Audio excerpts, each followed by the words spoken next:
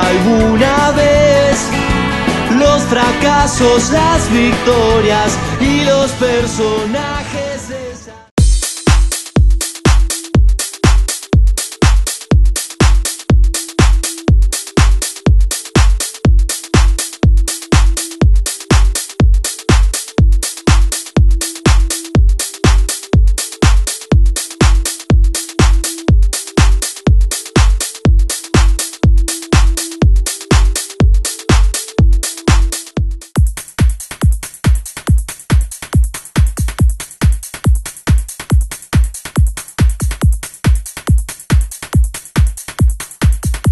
¿Cómo le va? Bienvenidos a un nuevo programa de Glorias del Ascenso. Seguimos recorriendo el Gran Buenos Aires de una punta a la otra. Hace poquito en Ramos Mejía, en Castelar y ahora en Luján, en Parador 5. Ruta 5, kilómetros 67, 700. La gente del lugar lo conoce por la parrillita. Aquí pegado en la estación de servicio estamos ubicados hoy para hacer un programa, un mes especial de Glorias del Ascenso. Un programa que ya nos tiene acostumbrados a entretenernos, a hablar de fútbol, a recordar eh, glorias, figuras y hechos que han quedado en la historia grande del fútbol de ascenso y, por qué no, del fútbol de Argentina. Y hoy nos damos un gusto especial porque, a ver, ¿quién sueña con hacer un gol en una final? ¿Quién no sueña con ser la figura de un campeonato? ¿Quién no sueña con la gloria? Pero lo que le pasó a este señor, que es el invitado de hoy, para alegría de mucha gente, es un hecho que seguramente en la historia de fútbol quedará marcado como un ícono, como esas películas norteamericanas donde en el último segundo termina de entrar la pelota en el aro o algo parecido. Daniel Monzón, gracias por estar con nosotros, un gustazo. ¿eh? Hola, buenas tardes. No, gracias a vos por invitarme. ¿Y qué- qué- cómo fue la experiencia esa del Mundial Sub-17? Porque uno imagina la experiencia de un Mundial grande, pero la de pibes es una cosa bastante diferente. No, obvio, seguro. No, no, no era la magnitud que, que es un mundial de mayores, pero para nosotros la edad y todo era algo muy, muy lindo, muy hermoso, que para vivirlo en esa época era increíble. De ahí te volvés a Vélez y en Vélez ya no estaba más Pascutini. Claro, sí, bueno, tuve que volver al club cuando se había, hubo unas reformas ahí en lo que era fútbol amateur, bueno, se fue el coordinador, había llegado Fanesi y todo eso, bueno, nos llegamos a un acuerdo y me tuve que ir. Y ahí fue donde recaí, recalé en Chicago. ¿Y cómo? ¿Por qué Chicago? Y Chicago porque estaba Leandro Pérez, que fue una persona que a mí me conocía de chico, que me había tenido, yo también tuve un paso muy chico por español, antes de ir a Vélez, y él me había tenido, entonces cuando él se enteró que yo había quedado libre en Vélez, me llamó para que vaya a Chicago. Fin del 2004 llego, a- llego a Chicago. Con Chicago recién descendido, hacía poquito que descendía. de Claro, primera. descendía de primera división, que estaba en esa época estaba Madelón de técnico. Y bueno, y, y Chicago venía, arrancaba a jugar el Nacional B de la mano de Ricardo Reza. Eh, a mí me toca debutar después de que Chicago desciende nuevamente de primera en ¿Vos el estás año. con Rafaela?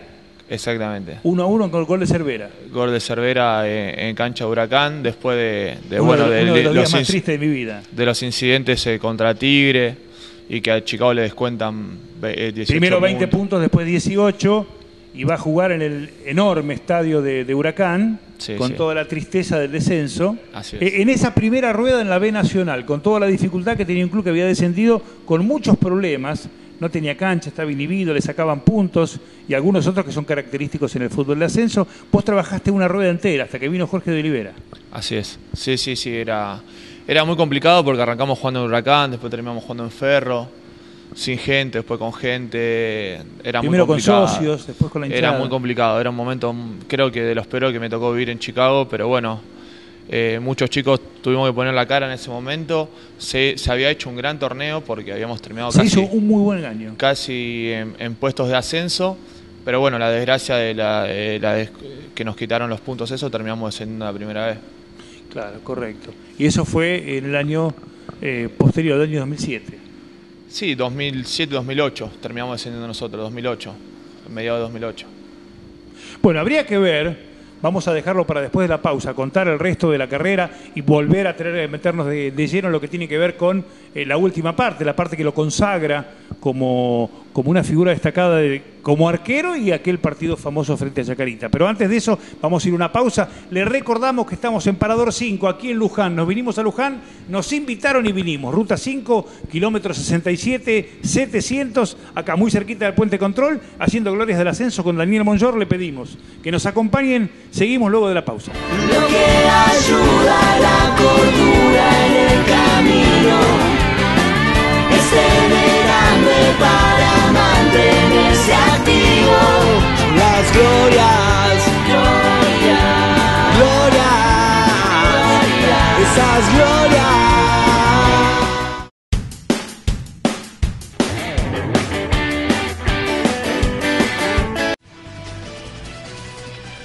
Auspicia Municipalidad de 3 de Febrero, Capital Provincial del Deporte, Intendencia Hugo Curto. Confitería Delicadeces te invita a saborear sus masas, tortas, facturas artesanales y sus incomparables sándwiches de miga. Visítanos en Vergara 641 Morón frente al Plaza Oeste o en cualquiera de nuestras sucursales. Confitería Delicadeces. Sabemos que te va a gustar. Aberturas El Sol, fábrica y venta. Puertas, ventanas, cerramientos en madera, chapa y aluminio. Avenida Ceballos 2687, Castelar Sur. Teléfono 4627-3525. Si usted necesita garantías, Norberto Rubén Gripo se las ofrece.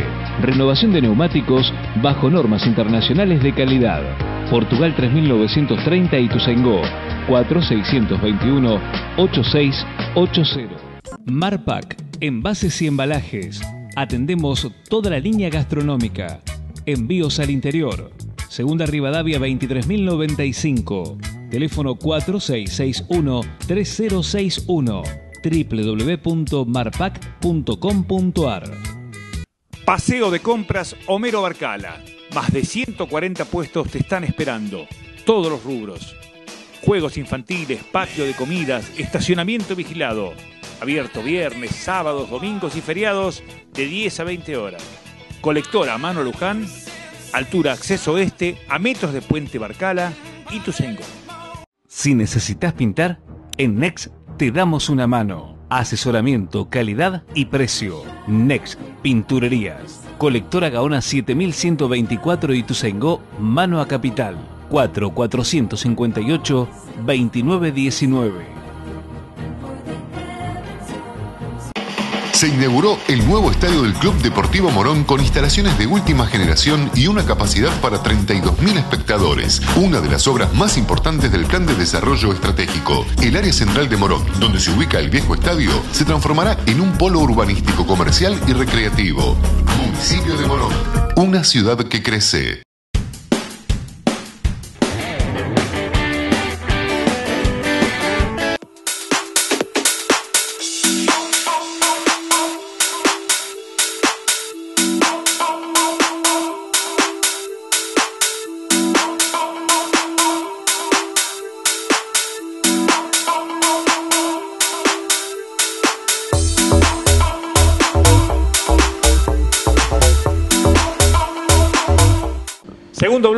Del Ascenso desde Parador 5, desde Luján, cómodamente ubicados y muy bien atendidos, haciendo este programa con eh, Daniel Monjor para hablar de todo lo que tiene que ver con su recorrido, que es una cosa muy especial tu carrera, porque sos muy joven, porque tenés todo para dar y ya sos un arquero que ha pasado la historia de alguna manera.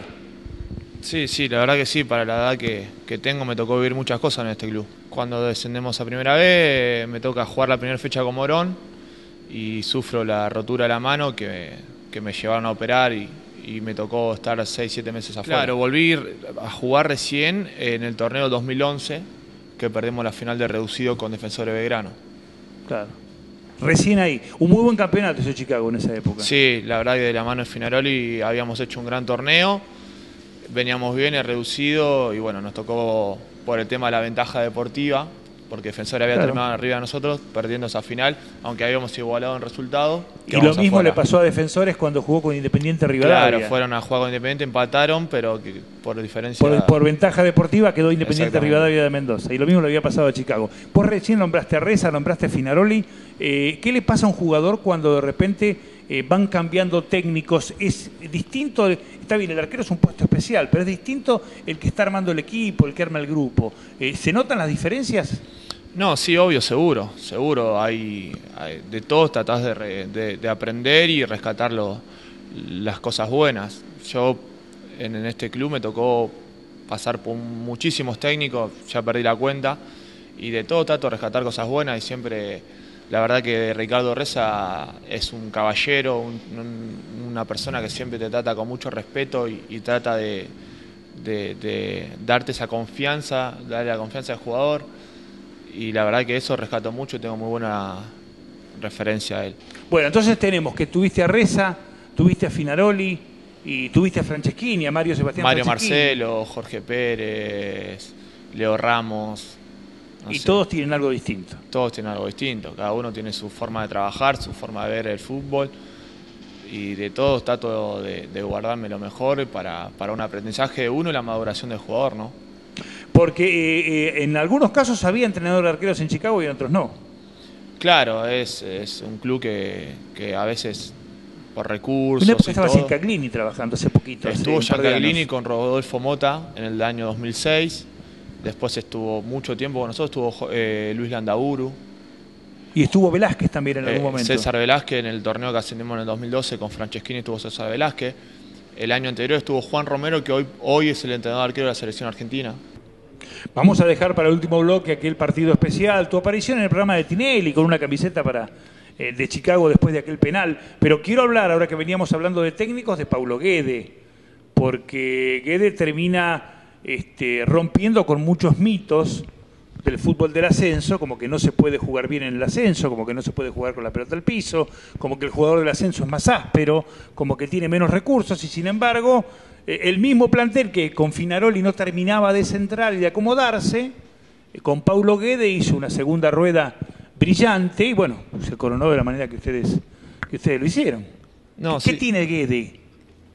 La forma de hablar, la forma de acercarse, El convencimiento, creo yo. Él está muy convencido de lo que hace y eso te lo transmite a uno, ¿no? Y creo que, que el primer día que estuvo con nosotros, él nos planteó la idea que tenía él y la manera de jugar. Y la forma en que te lo transmite, te lo trabaja y todo te lleva al convencimiento. Y, y- Vos le crees.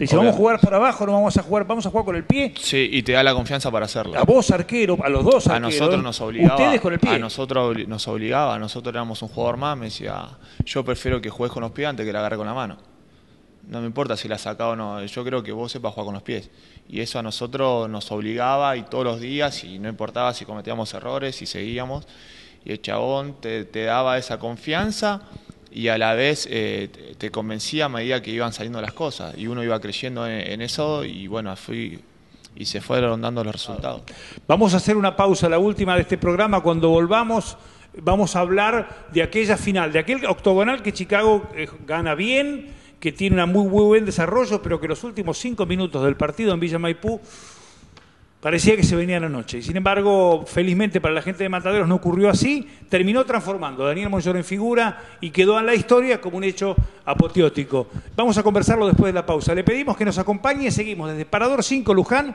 haciendo glorias del ascenso. Espérenos. Lo que ayuda a la cordura en el camino es tener hambre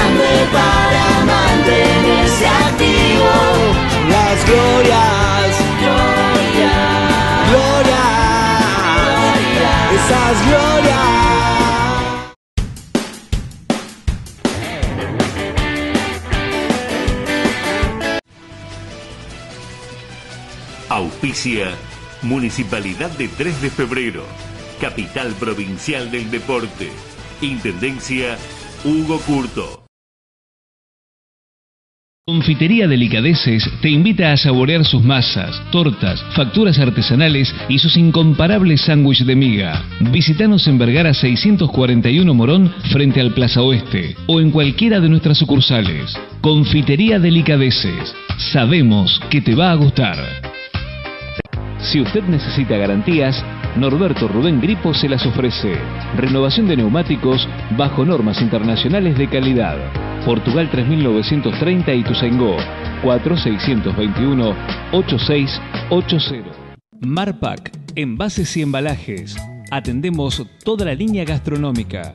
Envíos al interior. Segunda Rivadavia 23095. Teléfono 4661-3061. www.marpac.com.ar se inauguró el nuevo estadio del Club Deportivo Morón con instalaciones de última generación y una capacidad para 32.000 espectadores. Una de las obras más importantes del Plan de Desarrollo Estratégico. El área central de Morón, donde se ubica el viejo estadio, se transformará en un polo urbanístico comercial y recreativo. Municipio de Morón, una ciudad que crece. Si necesitas pintar, en Next te damos una mano. Asesoramiento, calidad y precio. Next Pinturerías. Colectora Gaona 7124 y Ituzaingó, mano a capital. 4458 2919. Paseo de compras Homero Barcala. Más de 140 puestos te están esperando. Todos los rubros. Juegos infantiles, patio de comidas, estacionamiento vigilado. Abierto viernes, sábados, domingos y feriados de 10 a 20 horas. Colectora Mano Luján altura acceso este, a metros de Puente Barcala y Tucengo.